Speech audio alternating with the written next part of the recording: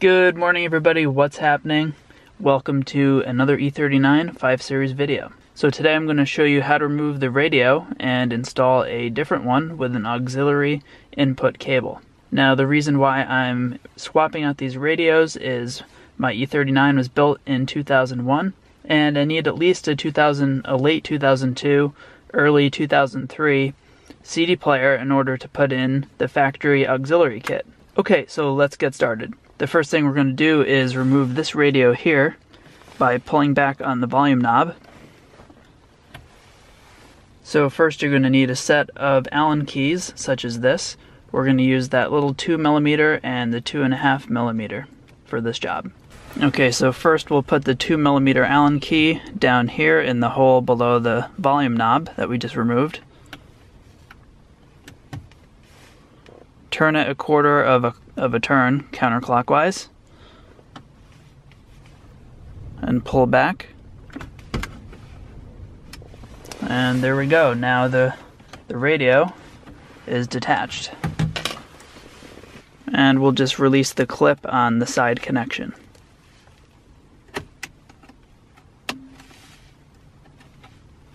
Next, we will remove the CD player to make room for the new one. Let's take our larger Allen key and we'll loosen up two Allen bolts located here and here all the way out until they stop turning.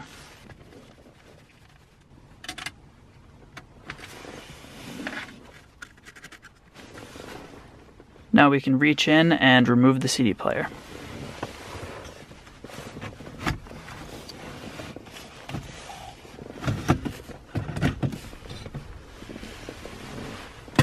Squeeze the tab and pull the antenna connection off. Now we're going to lift up this plastic clip here and remove the harness from the back of the CD player.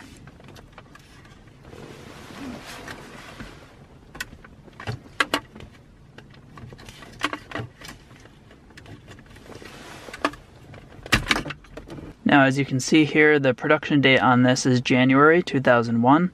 This car was made in 2001 and it's too old to accept our auxiliary kit, the factory kit from BMW, and I will link those up in the description below. Okay, here is the new CD player that I purchased on eBay. As you can see, it was produced, manufactured in September of 2005, which is compatible with our auxiliary kit from BMW. And here is our auxiliary kit that I picked up on Amazon. As always, I'll put a link to this in the description below. Okay, so here are the two radios, the new one and the old one. And before I put the new one in, I'm just going to swap out this plastic trim piece on the front because my old radio here, uh, the plastic is in much nicer condition. Okay, so here's the plastic trim that I removed from my old CD player, which is in really nice shape. And actually to remove this, you're going to need a very small Phillips screwdriver Here's what one of the little screws looks like. Now there's two of these on the back of this cover that you're going to remove. They're actually on the sides. Then you're going to need to get a flathead, a very small flathead screwdriver. You're going to need like the micro size, something like this. And if you go all the way around the edges of the cage of the CD player and this faceplate, there is about one, two, three, four, five, six places where you need to pry and get the tabs to free them up, free up the plastic cover from the metal CD player. And the buttons on this are nice and clicky, much nicer than the replacement that I bought. Okay, so here is the CD player. This is the, the new one that's going in. And let's turn it over here. Here's one of the Phillips you're going to remove flip it around. There's the other Phillips right here. Okay, so now it's time to install our new cord. It looks like this. But as you can tell, we already have a cord here, this black plug that goes into the back of our main harness. Now, some cars aren't going to have this, and if your car does not have this, installation is super easy. You just plug this in. This is for your auxiliary cable. There's the port right here. And you plug this in into that spot, put everything back together, and you're done. Most cars, however, are probably going to have this this plug existing. You're going to lift up this tab with a small flathead screwdriver and slide this out.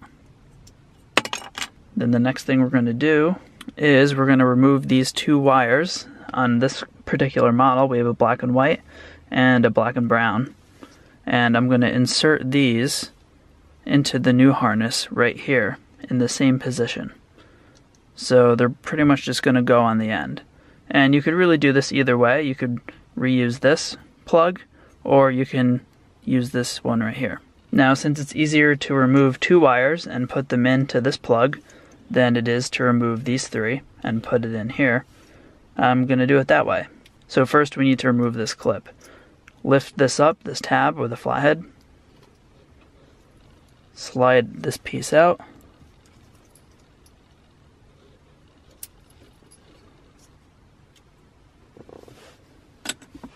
Okay, here are the three wires. We're going to leave those in place. Okay, here are the three new wires for the auxiliary function. Now we have four more ports. See them? One, two, three, four. These two windows right here, we're going to skip. We're going to skip those. And then these two right here, that's where we're going to take these two wires from and we're going to feed it into our new clip. Now, as if this could not get any easier, if you look really closely right on the corner of this connector, you're going to see number 6 and a number 1, and the arrow facing this way. So we want to make sure that the orientation of the existing wires, the black and white and the black and brown, go into our new connector the same way that they are positioned in the old one.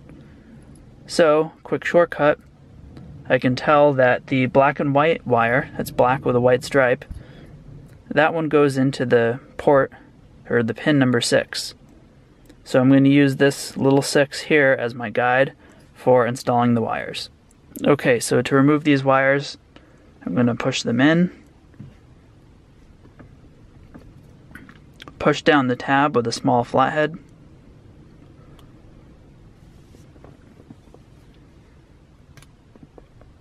and then slip it out of the connector. We'll flip this over, push it in a little bit.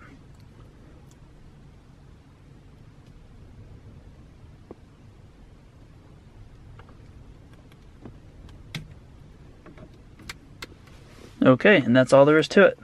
Now all we have to do is plug these two wires into our new harness. Okay, here we are, number six. That's the black and white.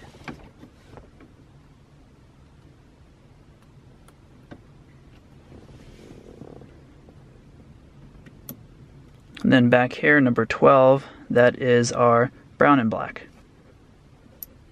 And now the fun part of this installation that I'm going to skip over is how you're going to route uh, your input jack here. Now I'll put a link right here where you can click.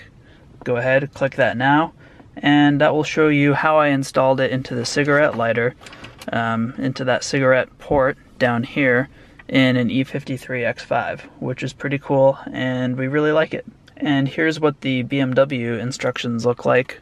They want to have you route this back behind your dash and into your glove box, which is also cool, but I'm not really a big fan of it. So I'm just sort of to leave this open right now. I'm not sure where I'm to mount it.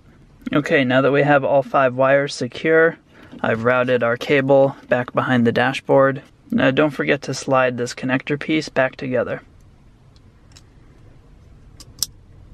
and then we'll pop the whole thing back into the main harness right here. Okay, now we can reinstall our CD player. And just as a side note, double check your date and make sure you're putting the right one back in.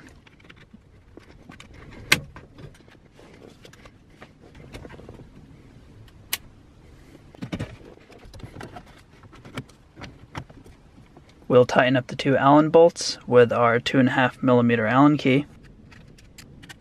And finally, we will slide our radio back into place. And remember to slide the radio face in at an angle here. And push it right here until you hear it click. and don't forget to put the volume knob back. Okay, now is the moment of truth. We can turn the ignition on and check and see if scrolling through our modes here, we can get the audio, the auxiliary audio part to show up. Okay, now this needs a new ribbon, which is a DIY for another day. But here's our mode button over here. No disc. Auxiliary. But, uh, yep, that says AUX, auxiliary. As always, guys, thank you so much for watching this channel. Really appreciate your support. If this video helped you out, please smash that like button, subscribe, and if you have any comments, please leave them in the comment section below.